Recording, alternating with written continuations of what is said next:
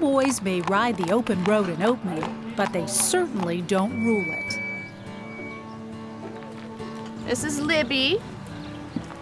And Libby and Jackie are really brats. And this is Summer. She's a real brat, too. Affectionately known as brats, the Oatman Burros are the stars in this Wild West production. And every day they wander out of the nearby mountains into town looking for a little love and a little lunch. They can come in as early as 7 o'clock in the morning before the tourists even get here. Um, but they always leave 4.30, 5 o'clock.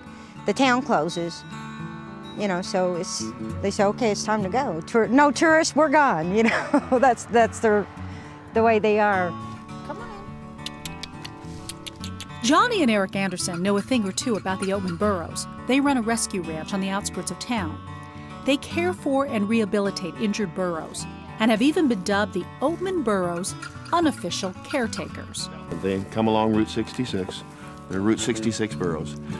They are, in fact, animals with a long history, the descendants of burros released by gold miners back in the 1940s. But it wasn't until around the 1960s did the burros start making their town appearances. Legend is the lure of food brought them in, and it's what keeps them there today. They're just too cute. You just want to take them home. But you can't take them home, but you want to.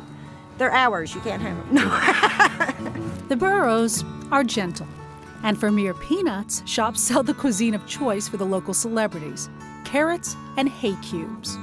And it's not just the burros eating it up.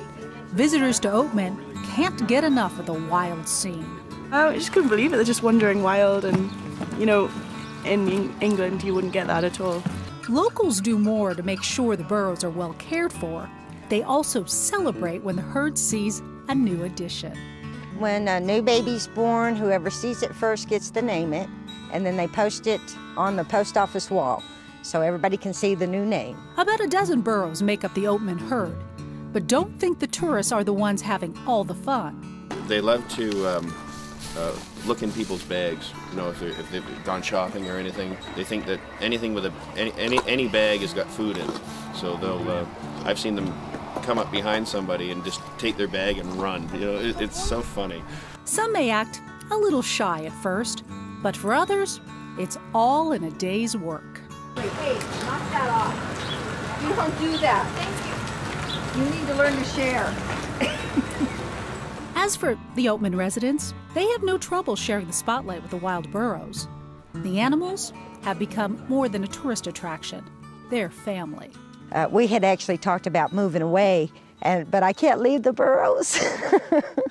this is my life. These burros are my life. I would not, I truly believe I would not be here today if it was not for these burros. I saved them, they saved me. That's just the way it goes. I recommend coming to visit our burros any day, any time. Of course, they clock in and out. They're here when the tourists are and they leave when the tourists go. They like their free food. and folks in Oatman wouldn't have it any other way.